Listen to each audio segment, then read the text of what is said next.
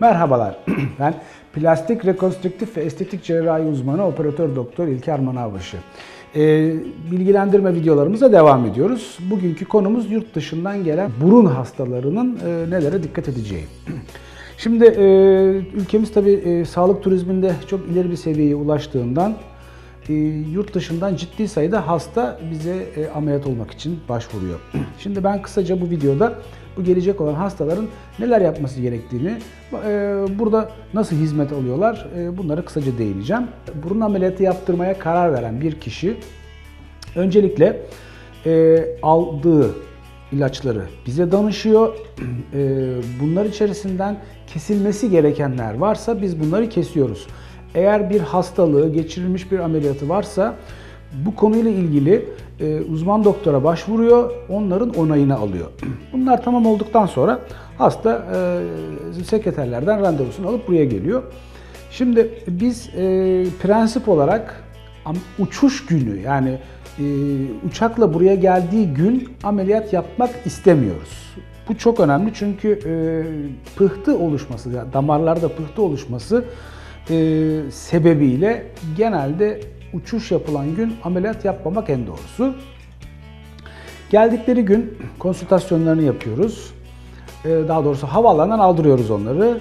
E, hastanemize getiriyoruz. E, burada konsültasyonlarını gerçekleştiriyoruz ki bunları genelde ameliyat gününden bir gün önce yapmayı tercih ediyoruz. Hastalar sağ salim dinç kafayla isteklerini bize bildiriyorlar. Biz de ne yapabileceklerimizi onlara kendi fotoğrafları üzerinde bilgisayar ekranında izah ediyoruz. Mutabık kalınan burun şeklini biz bir şekilde hastaya ameliyat sırasında oluşturmaya çalışıyoruz. Şimdi e, tabii ki hastayla e, iletişimi sağlayabilmek için bilgisayar ekranında kendi hastanın kendi yüz fotoğrafını kullanıyoruz ve orada bir modelleme yapıyoruz. Şunu unutmamak gerekir ki bu yapılan modelleme %100 aynısı olacaktır demek değil. O bizim için bir ameliyat planı aynı zamanda hastanın da ameliyattan önce e, olası sonucu görebilme imkanını sağlıyor. Bu şekilde biraz daha içi rahatlamış oluyor. Biz de bu e, ortaya çıkardığımız şekil yani yeni model sayesinde hastada nasıl bir ameliyat yapacağız? E, burun sırtından ne kadar küçültme ya da büyütme yapacağız? Burun ucunun e, yukarıya mı alacağız, aşağı mı alacağız, geriye mi alacağız, ileri mi alacağız? Bunların planlamasını yapıyoruz. Tabii bu esnada eğer nefes e, almayla ilgili bir problem varsa onu da düzeltiyoruz. Sinüzit ameliyatlarını biz yapmıyoruz. Bunu antiparantez, antiparantez onu da belirtmiş olayım. Ama e, nefes alma problemlerinin düzelmesi hastaların sinüzitle ilgili şikayetlerini ciddi oranda azaltıyor. Artı e, burundan nefes alan hastalarda da eğer varsa horlama şikayetinde ciddi azalmalar oluyor.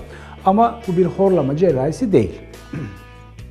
e, burun ameliyatı olan hastalar isterlerse bir gece hastanede kalabiliyorlar.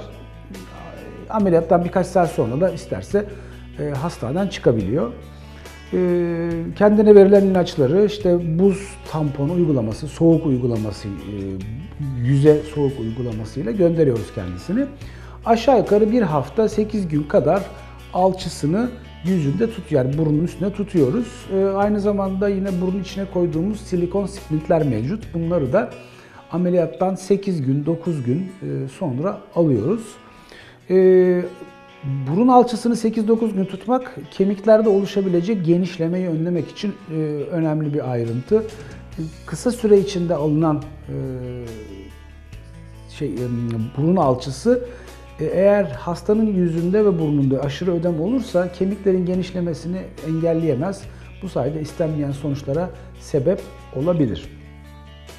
Burun alçısını aldıktan ve burun içindeki silikon tamponları aldıktan sonra silikon splintleri tampon demeyelim.